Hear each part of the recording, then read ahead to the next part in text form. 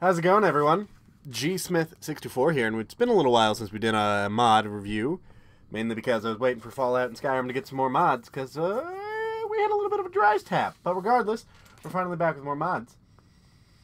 This is the NihonRim Wa Ribbons.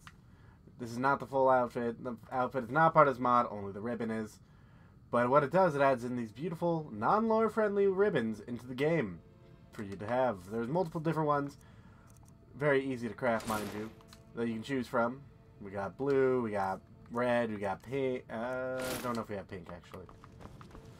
But there's blue, there's red, there's pink. Still don't know about pink, actually. Keep saying pink. But, uh, simply come to a tanning rack, though, to get them. You don't need anything to make them. There's pink. It's like pink is purple. But yeah, not really a whole lot of stuff to show off in this mod. It's incredibly simple. Eight different ribbons with a variety of colors. You got plain white. You got the more elegant one, as you can see there.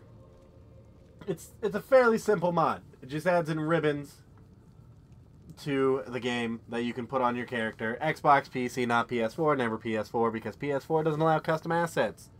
Cause you guys suck. Yeah, that's that's pretty much all I got though. If you want more content like this, hit that like button, comment down below, and subscribe. And if you really want to support the channel, buy me a coffee. Links in the description below. Three bucks a cup. That being said, I've been your host, G Smith64, and get yourself some sexy ribbons today. And I'll see you next time, guys. Peace.